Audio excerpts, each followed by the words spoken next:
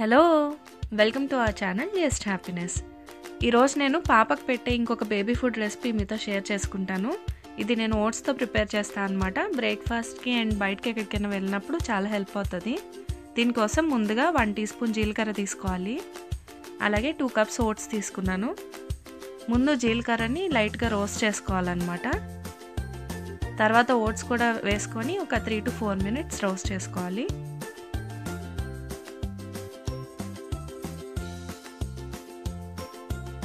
ఇవి వేగిపోయాయి. ఇప్పుడు స్టవ్ స్విచ్ ఆఫ్ చేసుకొని ఒక ప్లేట్లోకి తీసుకొని చల్లార్చుకుంటాను.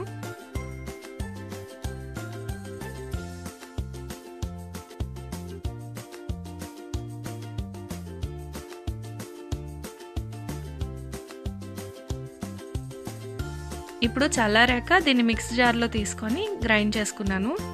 ఇలా మెత్తగా గ్రైండ్ చేసుకుంటే ఓట్స్ పౌడర్ రెడీ అయిపోయిందనమాట దీన్ని ఒక ఎయిర్ టైట్ జార్లో తీసుకుంటే వన్ మంత్ ఈజీగా వస్తుంది. ఇప్పుడు దీంతో నేను ఏమేమి రెసిపీస్ ప్రిపేర్ చేస్తానో మీతో షేర్ చేసుకుంటాను. ముందు ప్లెయిన్గా ఎలా ప్రిపేర్ చేసుకోవాలో చూపిస్తాను.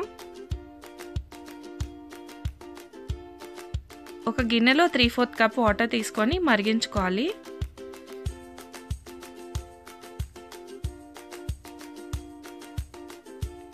పక్కన ఒక గిన్నెలో ఒక టూ స్పూన్స్ ఈ మిక్స్ తీసుకొని కొద్దిగా వాటర్తో కలుపుకోవాలి. డైరెక్ట్గా వేస్తే ఉండలు కడుతుంది అనమాట సో ముందు ఇలా పేస్ట్ లాగా ప్రిపేర్ చేసుకోవాలి.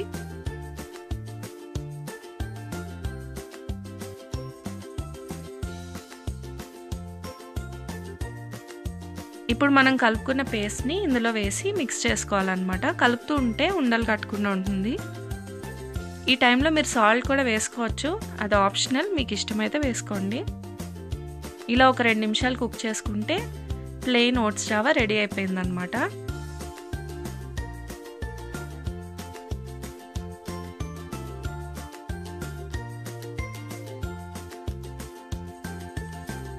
ఇప్పుడు యాపిల్తో ఈ జావ ఎలా ప్రిపేర్ చేస్తానో చూపిస్తాను.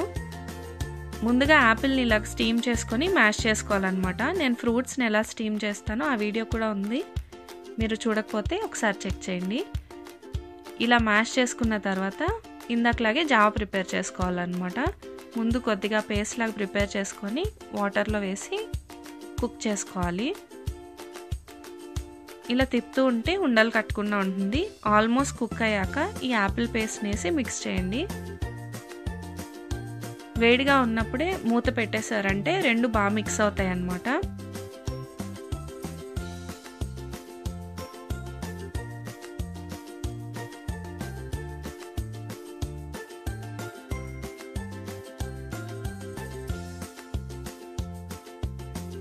అంతే యాపిల్ ఓట్స్ జావా రెడీ అయిపోయింది.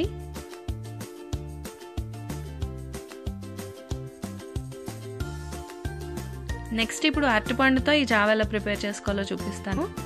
ఇందాకలాగే జావని ప్రిపేర్ చేసుకోవాలి కానీ వేడిగా ఉన్నప్పుడు అరటిపండు కలపకూడదు అనమాట సో దీన్ని చల్లారనిచ్చి ఈ మధ్యలో బనానాని పెట్టే ముందు మ్యాష్ చేసుకోవాలన్నమాట.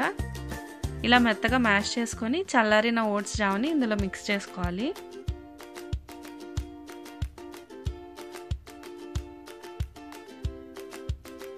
అంతే బనానా ఓట్స్ జావ కూడా రెడీ అయిపోయింది. ఇలా మీరు ఏ ఫ్రూట్స్ అయినా యాడ్ చేసుకోవచ్చు. యాపిల్ లాగా స్టీమ్ చేసుకొని పియర్ కానీ పపాయ కానీ ఇలా ఏదైనా యాడ్ చేసుకోవచ్చు. పిల్లలకి ఫ్రూట్స్ ఓట్స్ రెండు మంచివే కదా. సో ఈ రెసిపీ మీకు హెల్ప్ఫుల్ అవుతుంది అనుకుంటున్నాను నచ్చితే please don't forget to like. Thank you so much for watching.